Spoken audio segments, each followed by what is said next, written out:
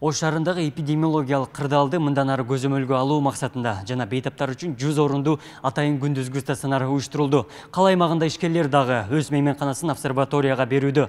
Күндүзгү стационарда өпкө оорусу менен жабыркаган бейтаптар атайын алгоритмге ылайык дарыланат. Спорт комплекске өзбекстандан гуманитардык жардам катары келген токсон бир койка орнотулду. Орундуктар өпкө илдетинин жеңил жана оор түрүнө чалдыккандарга ыңгайлашкан. Дарыгерлер үчүн дагы таза зона уюштурулуп керектүү шарт түзүлгөн. Учурда бир гана дарыгер бар. Атайын түзүлгөн медиктердин тобу бүгүнтөн тарта бейтаптарды кабыл ала баштайт.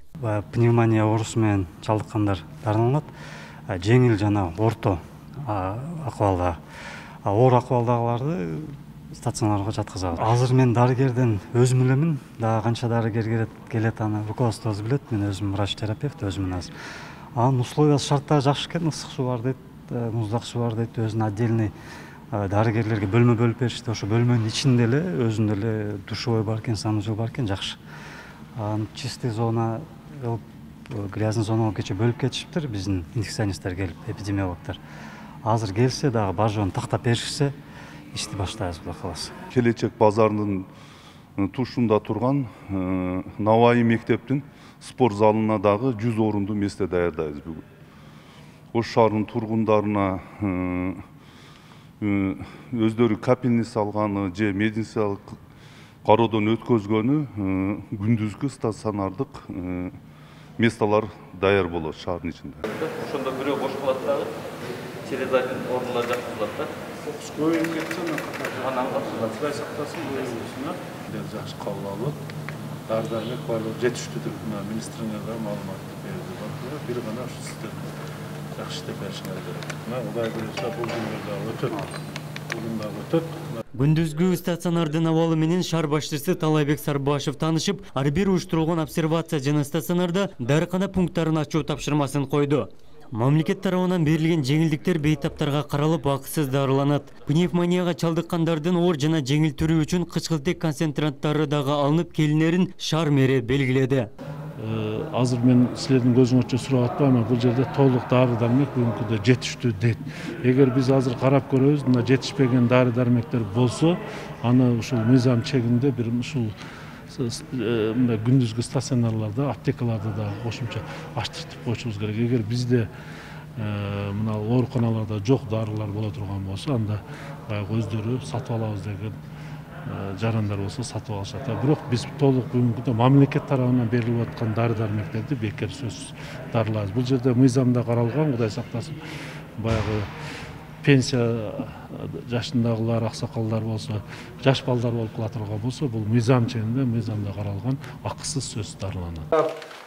Бул наркы жак нейтральный зона болот бул жак чистый зона для сотрудников. Бул жерде булар эс алат. Имн деп коебуз баягы медицинских назначений неме жана противочумка маска бүт баары ушул жерде сакталат бул склад. Орнун курчушун көзөмөлгө алуу үчүн каладагы жеке ишкерлер дагы колдоо көрсөтүүдө анын катарында классик мейманканасы сексен койкадан турган бөлмө даярдады каланын медицина кызматкерлери тартылып амбулатордук дарылоо зоналары бөлүнгөн шаар мэри калктын саламаттыгына жана жергиликтүү бийликке оор кырдаалда колдоо көрсөткөнү үчүн ыраазычылык билдирди ишкер кесиптештерин борбор каладагы кырдаалдын кайталанбашы үчүн көмөк көрсөтүүгө чакырды жаш болсом дагы акылдагы азамат экен азаматтык кылдым барып мага жолугуп эгер керек болсо ушул отелди мейманкананы берели дедим эле мына бүгүн ушул керек болуп атат бердим азыр врачтар ишти баштагандын астында ушундай оор кырдаалда кыргызстанда бишкекте көрүп абалды кандай болуп атат ушку дагы келет келбесин го бирок келиши эмеси чоң ошон үчүн биз деле жөн тура албадык анан бердик места жетиштүү болсун деп башкаларга дагы кайрылып кетет элем. Ушул болсо если возможно шарт болсо бергиле действительно абал оор болуп атат. Санрайз мейманканасы элүү орундуу номерин жана бир катар жеке клиникалар пневмонияга кабылгандарды кабыл алат. Жеке клиникалардын айрымдары бейтаптарды ковид он тогузга каршы акысыз дарылоону мойнуна алган. Даярдоо иштерин кала мэри көзөмөлдөп тез арада медицина кызматкерлерин тартууну жана аппараттарды алып келүүнү жетекчилерге тапшырды. Азыр мына занескаларын алып кетип бардым даярдап коюптур Бүгін даярдап беребиз. бүгүн даярдап берсе эртеңден баштап уже келип өзүңөр даярданып врач жетиштүү медалим жетиштүү ичине бир бурчуна аптека ачасыңар больницада иштеши ооба кече келип көрүп пландаштырып кеткенбиз баардыгын рахмат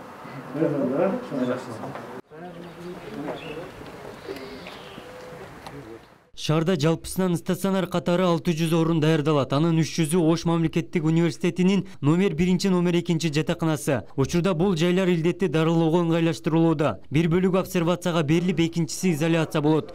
Текшерүүдө жуунуучу жай аз болгондуктан тез арада жаңыдан орнотуу талабы коюлду. азыр мен атайын келгенден айтсаңар себеби мен да изденип ушул жасата коелу санузел основной жууна турган эмелер керек да эртең үч жүз адам жатса ошол үч жүз адамга шарт түзүшүбүз керек да жууна турган умывальник болуш керек жууна турган душтар болуш керек даяр эмеспиз деген эме болбош керек да азыртадан силер талапты койгула эмне болуш керек биз ошону жасатып берели азыр макулбу апарайс менен да сүйлөштүк эгер кичине мүмкүнчүлүк болсо өзүбүз деле кичине оңдоп түзө ошол беребиз да деп силер алдык ошону матрастар жакшы деп Ош шаарынын ооруканаларында жалпысынан 22 ВЛ жасалма дем алдыруу аппараты бар.